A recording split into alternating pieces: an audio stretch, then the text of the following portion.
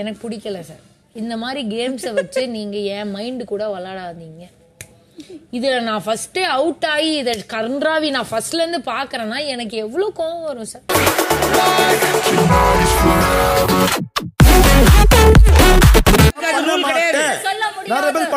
சொல்லக்கூடாது. புரியல அப்ப நாங்களும் இதே சொல்லிருக்கலாமே. சொல்லிருக்கலாம் சொல்லலையே.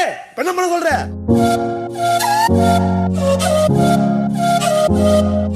பிக் பாஸ் சீசன் ஃபைவ் ஓட எங்களோட பில்லர் எங்களோட ஸ்ட்ரென்த் அப்படின்னு கூட சொல்லக்கூடிய. எஸ் த யங்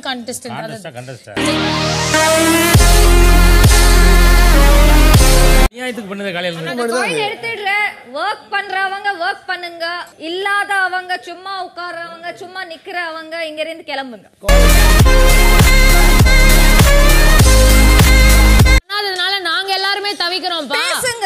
இப்போ நீ வந்து எப்படியும் நைட்டு பனிஷ்மெண்ட் ஒரு நிமிஷம் அதை ஆட்டாம இருக்கீங்களா மேடம்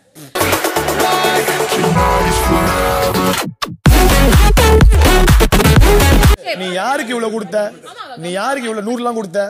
நான் விளையாடுறேன் நீ இப்பதான் ஸ்குவாட்ஸ் நாற்பது போட சொல்லுவேன். நாற்பது ஸ்குவாட்ஸ் போட்டு நீ ஓடு பாப்பா நூறு தடவை. நான் உன்ன மாதிரி ரூல்ஸ் பிரேக் பண்றது இல்லையே. நீ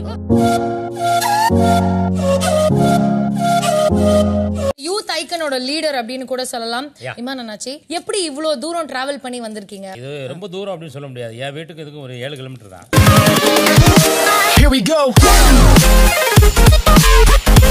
ஏலே பாவக்கா நீ எடுத்து எனக்கு வைல எனக்கு தானே செஞ்ச? எடுத்து வை. சாப்பிட மாட்டேன்னு சொன்னேன். கனவுல சாப்பிட மாட்டேன்னு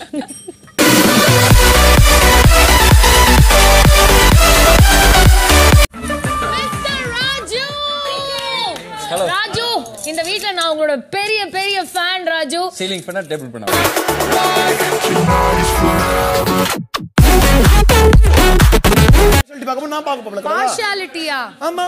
பார்ஷியாலிட்டியா பத்தி நீ இன்னொன்னு கூட பேசாத சொன்னா. இன்னொன்னு கூட சொன்னா. You do not இன்னொன்னு talk கூட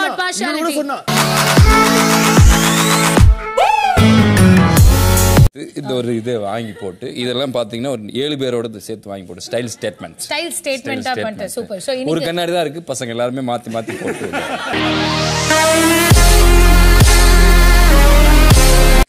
என்ன பண்ண மேடம்? தாமரை காயின் எடுத்திருக்க.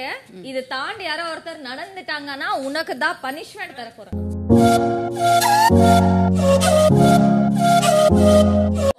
ஒன்பது ஓட்டுகள். ஒன்பது ஓட்டுகள் வாங்கி ஒன்பது ஓட்டு நீங்க ஒரே ஒரு ஆள் தான் கை நான்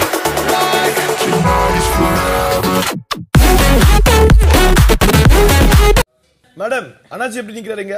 அண்ணாச்சி. வாடகை நீங்க. அண்ணாச்சி டேய் பனிஷ்மெண்ட் உன் கதையை போடுறான் என்ன அடுத்த கதையெல்லாம் பார்த்துட்டு இருக்கீங்க?